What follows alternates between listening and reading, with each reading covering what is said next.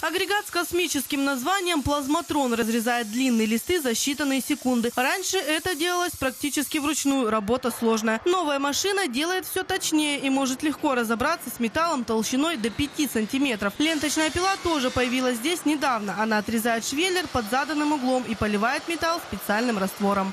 Мойся, он нужен для того, чтобы пила меньше изнашивалась. То есть одновременная смазка и охлаждение металла. Максим говорит, освоил новый агрегат за пару дней. Обновить оборудование помогло правительство Хакасии. Завод уже не первый год получает гранты и субсидии из бюджета. Директор уже строит планы на следующую денежную поддержку. Приобрести линию сварной балки. Значит, в нее входит э, плазменно-резкая металлоконструкции, э, линия сварки и линия правки.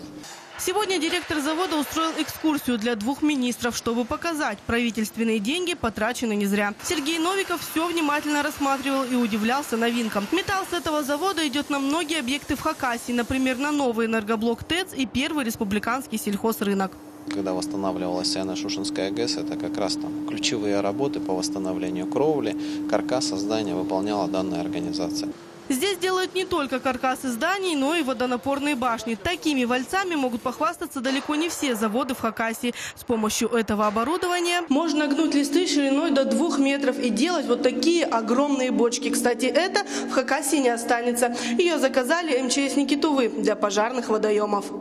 Уезжает продукция даже в Красноярский край и Кемеровскую область, но это пока. Чтобы раздвинуть горизонты, завод даже сварочную лабораторию организовал. Специалисты обучали полтора года. Теперь качество сварочных швов под постоянным контролем.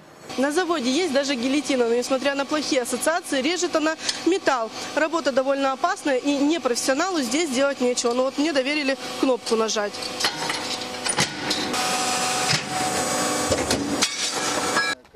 Понравилась сегодняшняя экскурсия министрам или нет, станет ясно, когда будут рассматриваться заявки на гранты и субсидии на следующий год. Кстати, в 2013-м правительственные миллионные субсидии получили еще пять предприятий, но пока они министров прогуляться по цехам не позвали. Мария Дудник, Светлана Панина, Новости, Седьмой телеканал.